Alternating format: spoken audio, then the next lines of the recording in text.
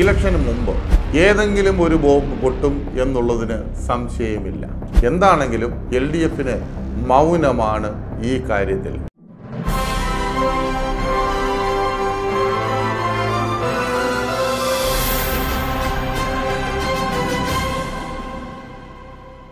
വിനോദിനിയും മൊബൈലും.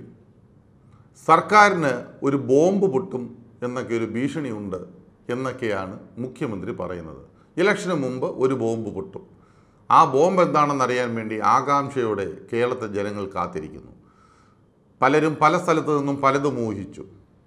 അതിൽ ഒന്ന് നമ്മുടെ മുൻ സി പി എം സംസ്ഥാന സെക്രട്ടറി കൊടിയേരി ബാലകൃഷ്ണന്റെ ഭാര്യ വിനോദിനിയെ മൂന്നാം തവണയും കസ്റ്റംസ് നോട്ടീസ് കൊടുത്തിട്ടും പലതവണ വിളിച്ചിട്ടും വിനോദിനി ഹാജരായിട്ടില്ല.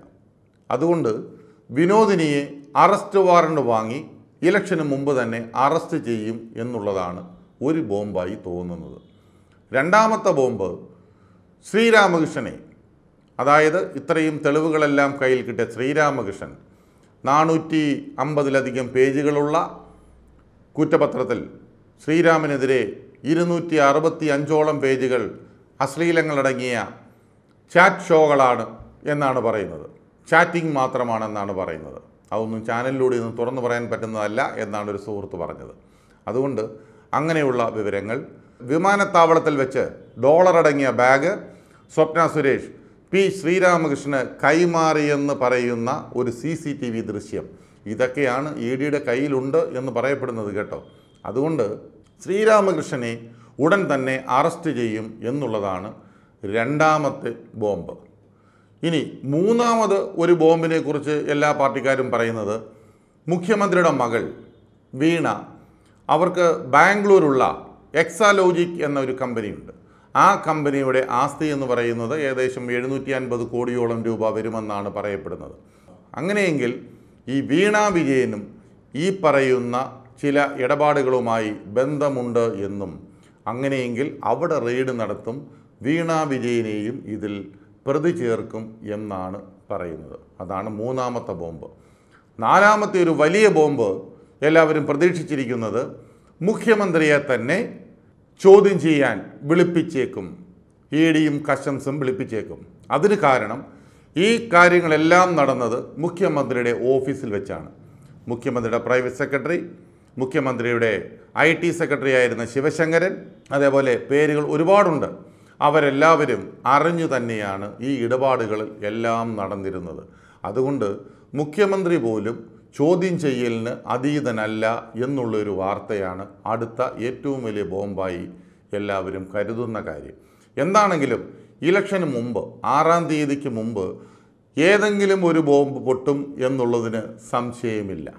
സംസ്ഥാന സർക്കാരിന് ഇപ്പോൾ എല്ലാ കാര്യങ്ങളും ബോംബായിട്ടാണ് തോന്നുന്നത്. കാരണം ക്രൈംബ്രാഞ്ചും പോലീസും തമ്മിലടി. രണ്ടും മുഖ്യമന്ത്രിയുടെ കീഴിലുള്ള വകുപ്പുകളാണേ. അപ്പോൾ അവർ രണ്ടുപേരും തമ്മിലടിക്കുന്നതിന്റെ കാരണം ഇ ഡിയെ ക്വസ്റ്റ്യൻ ചെയ്യാൻ വിളിപ്പിക്കുന്നു. ഇ ഡി ഉദ്യോഗസ്ഥരെ ക്വസ്റ്റ്യൻ ചെയ്യാൻ വിളിപ്പിക്കുന്നു. എന്തൊരു വിരോധാഭാസമാണ്. ഒരു നിയമപരമായി ഒരു സാധ്യതയുമില്ലാതെ ഇ ഡി അന്വേഷണം പ്രഖ്യാപിച്ച് പല തെളിവുകളും കൊണ്ടുവന്ന് പലരെയും ചോദ്യം ചെയ്യാൻ തുടങ്ങിയപ്പോൾ ഇ ഡിക്കും കസ്റ്റംസിനുമെതിരെ കേസെടുക്കാൻ സംസ്ഥാന പോലീസും സംസ്ഥാന ക്രൈംബ്രാഞ്ചും രണ്ടുപേരും മത്സരിച്ചിറങ്ങി. സംസ്ഥാന പോലീസ് കേസെടുത്തു. സംസ്ഥാന ക്രൈംബ്രാഞ്ചും കേസെടുത്തു. പക്ഷേ ക്രൈംബ്രാഞ്ച് അറിയാതെ ഒരു കസ്റ്റംസ് ഓഫീസറെ വിളിച്ചു വരുത്തി ആ ചോദ്യം ചെയ്തു എന്നാണ് അറിയാൻ കഴിയുന്നത്. പക്ഷേ കേസ് കോടതിയിൽ വന്നപ്പോൾ ക്രൈംബ്രാഞ്ചിന്റെ കേസ് നടക്കുന്ന അതേ ദിവസം ക്രൈംബ്രാഞ്ച് പറയുന്നു ഞങ്ങൾ ഇതേവരെയും ആരെയും വിളിപ്പിച്ചിട്ടില്ല ആരെയും ചോദ്യം ചെയ്തിട്ടില്ല എന്ന് അഭിഭാഷകൻ പറയുമ്പോൾ ഇപ്പുറത്ത് നമ്മുടെ മറ്റൊരു അഭിഭാഷകൻ പോലീസിന്റെ അഭിഭാഷകൻ പറയുന്നു ഞങ്ങൾ കസ്റ്റംസിന്റെ ഒരു ഉദ്യോഗസ്ഥനെ വിളിച്ചിരുന്നു വിളിച്ചു വരുത്തി ചോദ്യം ചെയ്തു എന്നുള്ളത്. ആ കാര്യത്തിൽ നമ്മുടെ ഡി ജി പിയും ക്രൈംബ്രാഞ്ചിന്റെ ഹെഡിൽ ഉള്ളവർ ആളുകളും ഡി ജി പി റാങ്കിലൊക്കെ ഉള്ള ആളുകളൊക്കെ തമ്മിൽ വാക്കുതർക്കവും ഡി ജി പി ലോക്നാഥ് ബെഹ്റയെ ഒരുപാട് കുറ്റപ്പെടുത്തലുകളും ഉണ്ടായി എന്നുള്ളതാണ് പിന്നാമ്പുറത്തു നിന്നുള്ള വാർത്തകൾ കേൾക്കുന്നത്. അതും ഒരു വലിയ ബോംബാണ്. ആഴക്കടൽ മത്സ്യബന്ധനത്തിലെ കരാർ റദ്ദാക്കാതിരിക്കുന്നത് അതിലും വലിയൊരു ബോംബാണ്. പിന്നെ ഒരു ബോംബുള്ളത് ഏതാണ്?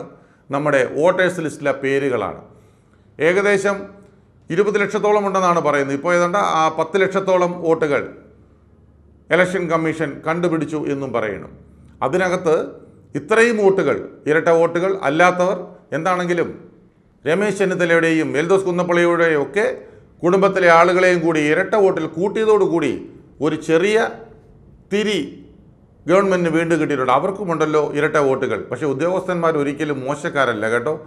അവർക്കും ഇരിക്കട്ടെ ഒരെണ്ണം. അപ്പോൾ അതിന് തടയിടാം എന്നായിരിക്കും ധാരണ. പ്രതിപക്ഷ നേതാവിന്റെ അമ്മയുടെ വോട്ടാണല്ലോ ഇരട്ട വോട്ടായി രേഖപ്പെടുത്തിയിരിക്കുന്നത്. അതുകൊണ്ട് അതൊന്നും വിശ്വസിക്കാൻ കേരളത്തിലെ ജനങ്ങൾ മെനക്കെടാറില്ല. കാരണം അവർക്കറിയാം പ്രതിപക്ഷ നേതാവ് ഇത്രയും കാര്യങ്ങളൊക്കെ പറയുന്ന ഒരാളാണെങ്കിൽ രമേശ് ചെന്നിത്തല അദ്ദേഹത്തിന്റെ അമ്മയ്ക്ക് ഇരട്ട വോട്ടിന് വേണ്ടി പോകുമെന്നും കള്ളവോട്ട് ചെയ്യിക്കുമെന്നും ആർക്കും വിശ്വസിക്കാൻ കഴിയില്ല. അതുപോലെ തന്നെയാണ് എൽദോസ് കുന്നപ്പള്ളിയുടെ കാര്യവും. Eldhose Kunnappilly M L A ഇപ്പോൾ ഇലക്ഷന് പോലും നിൽക്കുന്ന ഒരാളായതുകൊണ്ട് വീട് മാറി വന്നപ്പോൾ അവിടുന്ന് വോട്ടേഴ്സ് ലിസ്റ്റിംഗ് മാറി പെരുമ്പാവൂരേക്ക് മാറ്റി. അത് മാറ്റിയ സമയത്ത് പഴയ വോട്ടേഴ്സ് ലിസ്റ്റ് ക്യാൻസൽ ചെയ്യാൻ വിളിച്ച് പറഞ്ഞിരുന്നു. പറഞ്ഞത് ഉദ്യോഗസ്ഥർ ചെയ്തില്ല. അതാണ് അതിന്റെ കാരണം.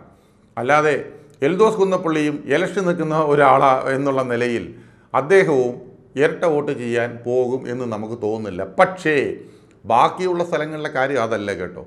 ആറും ഏഴും വോട്ടുള്ളവരും അല്ലാതുള്ളവരും ഇരട്ട വോട്ടുകളെല്ലാം കൂടി ഏതാണ്ട് പത്ത് ലക്ഷത്തോളം വോട്ടുകൾ ഇപ്പോൾ തന്നെ ശ്രദ്ധയിൽപ്പെട്ടിട്ടുണ്ട് എന്നാണ് പറയുന്നത്. അങ്ങനെയെങ്കിൽ ഈ പത്ത് ലക്ഷം വോട്ടിൽ എത്ര ലക്ഷം വോട്ടാണ് എൽ ഡി എഫിന് പോകുന്നത്? യു ഡി എഫിന് ഏതെങ്കിലും വരുമോ? ബി ജെ പിക്ക് ഏതെങ്കിലും ചെല്ലുമോ? എന്നൊക്കെ നമ്മൾ കണ്ടറിയേണ്ടിയിരിക്കുന്നു. എന്താണെങ്കിലും എൽ ഡി എഫിന് മൗനമാണ് ഈ കാര്യത്തിൽ. ഒരു ഉദ്യോഗസ്ഥരുടെയും പേരിൽ ഇതേവരെയും ഒരു കേസ് പോലും രജിസ്റ്റർ ചെയ്തിട്ടില്ല. ഇതിലും വലിയ ബോംബ് എന്താണ് ഈ കേരളത്തിൽ വേണ്ടത്?